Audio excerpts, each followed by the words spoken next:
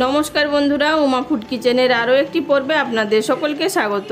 আজ আমি তৈরি করে দেখাবো নিরামিষ ঘুগনি। ঘুগনি তো বাড়িতে সকলেই তৈরি করে থাকেন, কিন্তু আমি যেভাবে তৈরি করি সেই রেসিপিটা আপনাদের সাথে শেয়ার করব। তাহলে চলুন দেখে নেওয়া যাক আমার আজকের রেসিপি। এক কাপ মটর সারা রাত জল দিয়ে ভিজিয়ে রেখেছিলাম, জলটাকে ঝরিয়ে নিয়েছি। তারপর একটা প্রেসার কুকারের মধ্যে দিয়ে দিলাম ভিজানো মটর আর তার সাথে একটা ছোট আলু।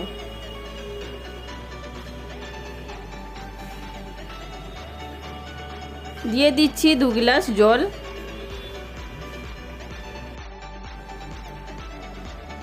দিয়ে দিলাম স্বাদ অনুযায়ী নুন আর দিয়ে দিলাম হাফ টি স্পুন হলুদ গুঁড়ো। মিশিয়ে নিয়ে এবার ঢাকাটা বন্ধ করে সিদ্ধ করে নেব। দেখুন মটরটা সিদ্ধ হয়ে গেছে। এবার একটা কড়াইয়ের মধ্যে তিন টেবিল চামচ তেল গরম করে নিয়েছি। তার মধ্যে দিয়ে দিলাম সামান্য হিং। নিরামিষ রান্নায় হিং দিলে টেস্টটা বেশি ভালো হয়। দিয়ে দিলাম একটা তেজপাতা দু টুকরো করে, দুটো শুকনো লঙ্কা, সামান্য একটু জিরে। ফোড়নটাকে চল্লিশ সেকেন্ড মতন ভেজে নেব।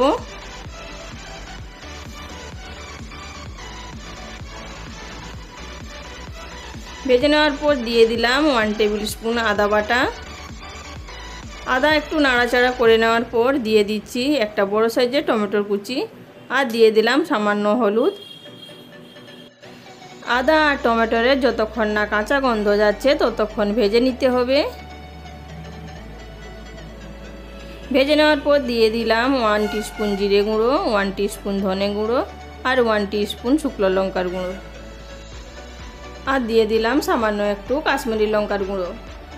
সামান্য একটু জল দিয়ে কষিয়ে নেব।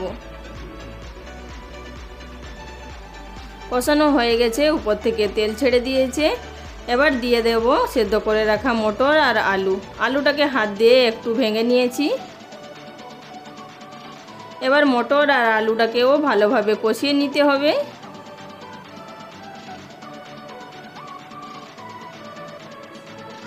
কষানো হয়ে গেছে, এবার আমি দিয়ে দিচ্ছি এক বাটি জল। আপনারা গ্রেভিটা যে যেইভাবে রাখবেন, সেইভাবে জলটা দেবেন।